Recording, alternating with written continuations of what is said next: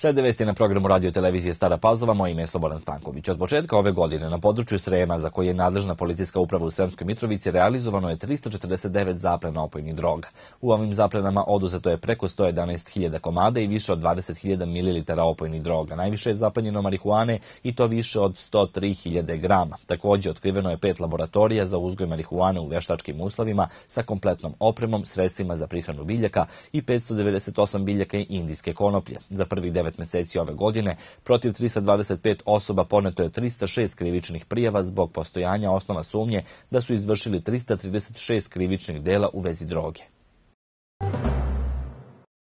Pripadnici Ministarstva unutrašnjih poslova u Inđiji su prilikom pretresa vikendice u okolini Inđije pronašli i oduzeli tri klipne pumpe visokog pritiska za pretakanje goriva, cisternu zapremine 1000 litara i 440 litara dizel goriva, zbog postojanja osnova sumnje da je izvršio krivično delo nedozvoljen promet akciznih proizvoda u saradnji sa Poreskom policijom protiv 47-godišnjeg vlasnika vikendice biće podneta krivična prijava nadležnom tužilaštvu.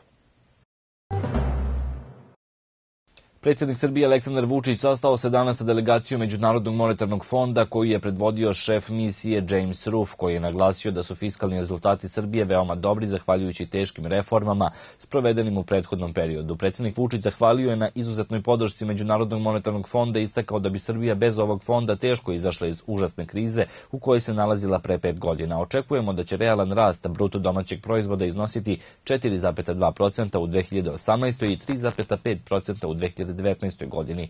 Puna implementacija programa strukturnih reformi će se dodatno pozitivno odraziti na potencijal rasta, istakao je RUF. Dodao je takođe da bi javni dug trebalo do kraja godine da padne ispod 55% bruto domaćeg proizvoda, te da su se prinosi na državne hartije od vrednosti stabilizovale na nivoima koji su blizu istorijskih minimuma.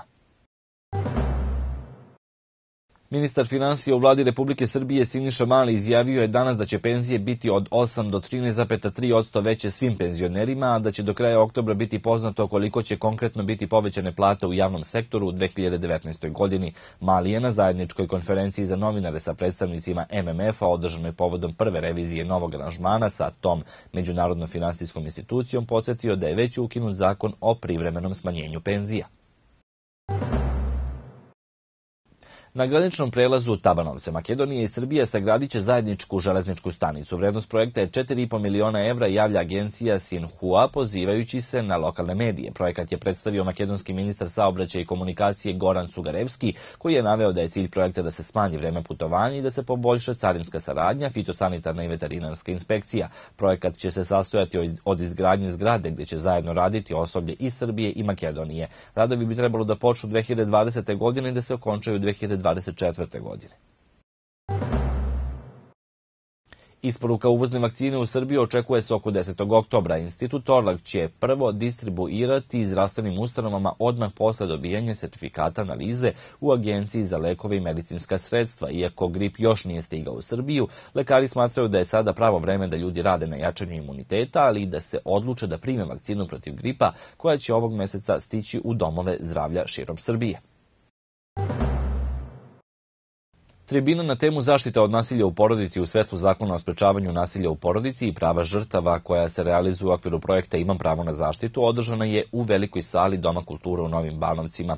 Tribinu je realizovao Centar za socijalni rad Stara Pauzova pod pokroviteljstvom Pokrajinskog sekretarijata za socijalnu politiku, demografiju i ravnopravnost polova. Komemoracija povodom smrti naše kolege Dragana Bursaća održana je danas u svečanoj sali Bele zgrade u Staroj Pazovi uz prisustvo članova njegove porodice, kolega radiotelevizije Stara Pazova sportista kao i predstavnika lokalne samouprave. Ženska odbojkaška reprezentacija Srbije zabeležila je i petu ubedljivu pobedu na svetskom prvenstvu u Japanu, pošto je danas u petom kolu D grupe savladala Porto Riku sa 3-0. Rivalke srpskim odbojkašicama biće Meksiko, Nemačka, Holandija i domaćin Japan.